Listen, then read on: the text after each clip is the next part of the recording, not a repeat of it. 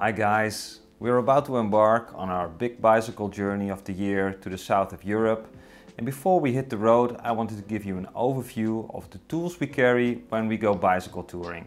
Starting with the base kit for short-term travel that we expand upon with a long tour add-on kit when going on multi-month tours. The items you will see in this video are chosen to strike a balance between lightweight and high functionality in most use cases.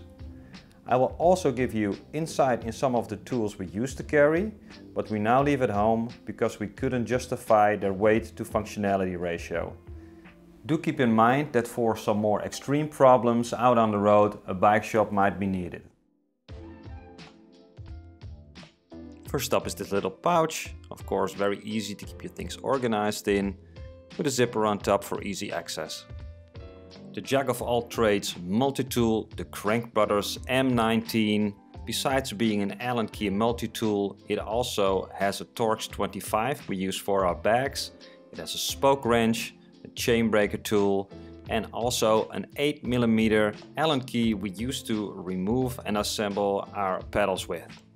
Before the M19 we used to have these loose tools and they worked but they were a bit bulky and we didn't use them all the time so we really wanted to scale down to have a more compact base kit that was easy to carry and still had lots of functionality. A new tool I recently discovered are these tire levers and they combine also as chain pliers.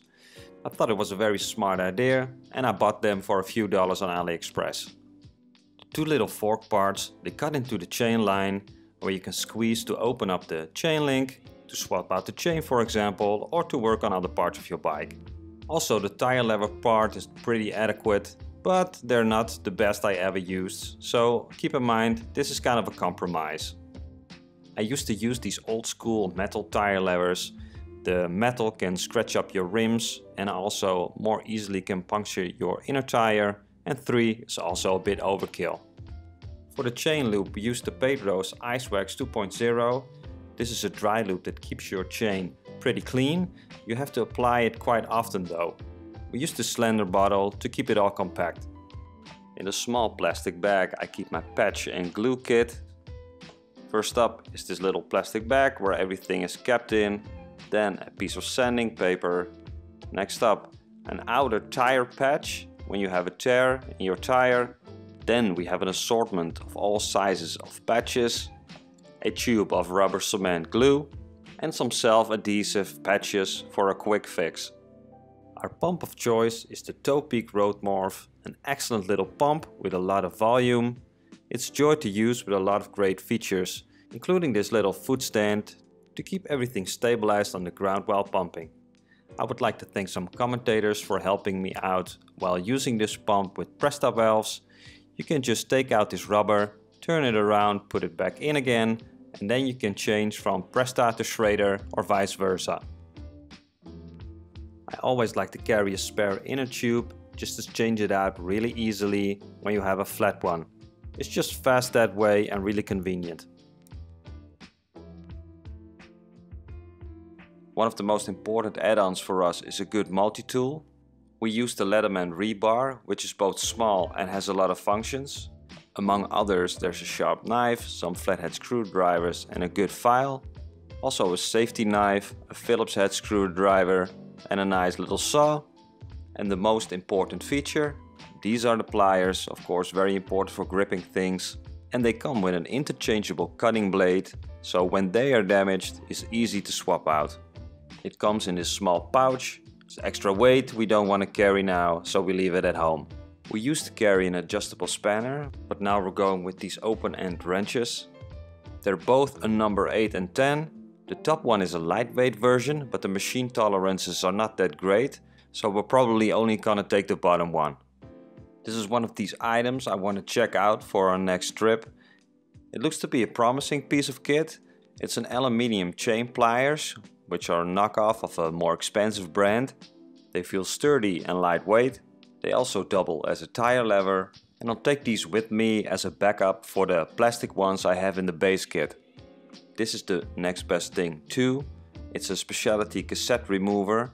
Normally you need like an elaborate set of tools to remove your cassette, but this one uses your frame and this small tool so you can change out the cassette or when a spoke is broken you can change it out on the cassette side of the wheel. A specific tool you might carry is this one for a Brooks saddle, so when the saddle starts to sag you can tighten it up again. This is an overview of all the tools we used to carry, but we didn't use them that often or not at all, so we're now leaving them at home. Starting left at the bottom is a specific bottom bracket tool. Then we have a crank puller, the Thudbuster repair kit, some wax, a metal tin containing the patch kit, the old tool bag, some extra patches, a full tube of grease, a chainring tool and an adjustable spanner. Just like as in the base kit we use the Pedros Ice Wax as chain lube, but this is the big bottle and this one we use to fill out the small and slender bottle we have in the base kit.